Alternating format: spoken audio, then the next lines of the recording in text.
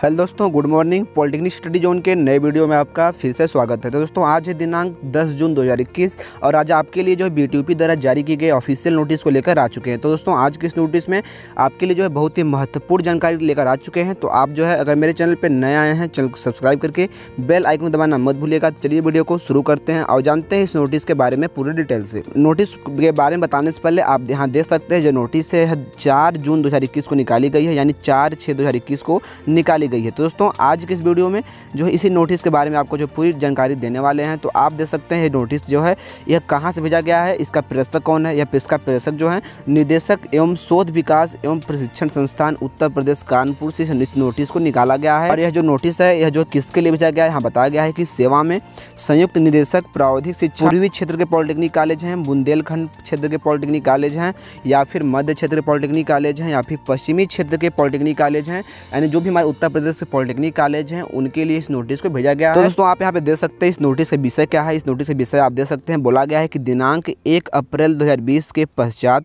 Covid 19 महामारी से प्रावधिक शिक्षा, डिप्लोमा सेक्टर, उत्तर प्रदेश के नियंत्रणाधीन राजकीय या अनुदानित पॉलिटेक्निक संस्थाओं में अध्ययनरत छात्र या छात्राओं के माता पिता या अभिभावकों की मृत्यु की सूचना उपलब्ध कराए जाने विषय तो दोस्तों, यहाँ पे कहने का अर्थ यहाँ पे यह है, यह नोटिस जो विषय है, वह यह है कि एक अप्रैल 2020 के जो भी पहले कोविड नाइन्टीन महामारी से जिन भी स्टूडेंट के माता पिता या फिर उनके अभिभावक की कोविड नाइन्टीन से, यानी कि कोरोना वायरस से मृत्यु हुई है एक अप्रैल 2020 के पहले तो आपके लिए जो है बी ने जो है एक योजना लाई है। उसके तहत आपको जो है कुछ राशि मिलने वाली है। तो दोस्तों, इस नोटिस का जो है विषय यही है। तो दोस्तों, चलिए इस नोटिस बारे में जानते हैं पूरी डिटेल से। तो आप देख सकते हैं, बताया गया है कि महोदय, कृपया उपर्युक्त विषयक शासन के प्रदत्त निर्देशानुक्रम में आपको निर्देशित किया जाता है कि अपने नियंत्रणाधीन राजकीय या अनुदानित पॉलिटेक्निक संस्थाओं में अध्ययनरत छात्र छात्राओं के माता पिता या अभिभावकों की दिनांक एक चार दो 2020 के पश्चात कोविड 19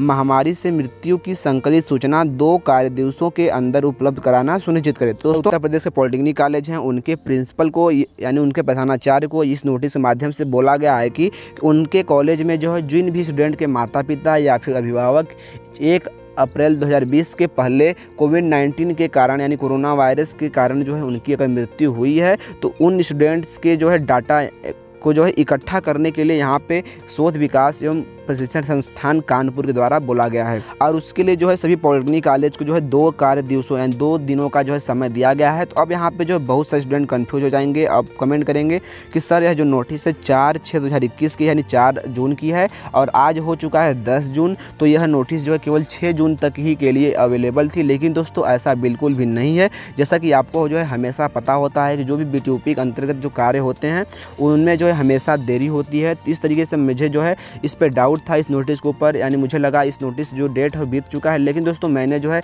कॉलेज में कांटेक्ट किया और वहाँ पे पता किया कि जो है कि अभी इस इस, इस यह जो फॉर्म है कोविड नाइन्टीन महामारी वाला या भरा जा रहा है या फिर नहीं भरा जा रहा है तो उन्होंने मुझे बताया कि जो फॉर्म है अभी फ़िलहाल में जो है चल रहा है। आप इसमें जो है दो से चार दिनों तक भी जो है आप अप्लाई कर सकते हैं अगर आपके घर में जो ऐसी कोई किसी प्रकार की कंडीशन हुई है। और जो है मेरे कॉलेज के व्हाट्सएप ग्रुप में भी जो है आज सुबह ही यह मैसेज आया है। तो दोस्तों आप यहाँ देख सकते हैं यहाँ बोला गया है क्रम संख्या पॉलिटेक्निक का नाम छात्र या छात्रा का नाम माता पिता या अभिभावक का नाम पूर्ण पता एवं मोबाइल नंबर मृत्यु की तिथि प्रमाण पत्र संख्या ज़िले का नाम अभियुक्ति। यानी दोस्तों यह जो है जो भी हमारे पॉलिटेक्निक कॉलेज हैं उनके पास जो है इस तरीके का जो है फॉर्म भेजा गया है बीटीओपी के द्वारा ऑनलाइन के माध्यम से।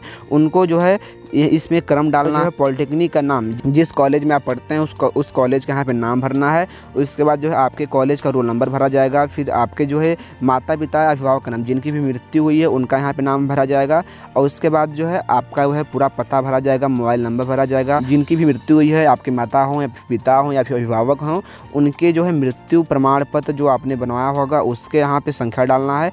और यहाँ पे अभियुक्ति डालना है। इस तरीके से यहाँ पे फॉर्म को फिल करना है और जो है, यह फॉर्म को जो है, आपके कॉलेज वाले फिल करेंगे। आपको इसमें कुछ करना नहीं है। आपको जो बस अपना डिटेल्स उन्हें देना है, बताना है, या फिर आप चाहे तो कॉलेज पर भी जा सकते हैं और फिल करने बाद जो है, इस फॉर्म को जो है बीटीओपी के ऑफ़िस पर जो है, ऑनलाइन के माध्यम से भेज दिया जाएगा। तो दोस्तों इस तरीके से जो है, इस नोटिस में बताई गई सारी बातों को मैंने जो है, आपके सामने डिस्कस कर दिया। अपने कॉलेज में जो है, जल्द से जल्द संपर्क करना है और संपर्क करने के बाद जो जो भी वहाँ पर डिटेल्स आपसे मांगी जाएगी, आपको वहाँ पे देना है, जिससे क्या होगा कि आपको जो है, हो सकता है कि कुछ आपके फ़ीस माफ़ किए जाएँ, या फिर हो सकता है कि आपको जो है, सरकार के द्वारा कुछ राशि भी प्रदान की जाए। तो इस तरीके से जो है, कुछ भी कार्यक्रम हो सकते हैं। तो अगर आपके घर पर इस प्रकार की कोई भी घटना हुई है तो जल्द से जल्द आप जो है कॉलेज में कॉन्टैक्ट करें।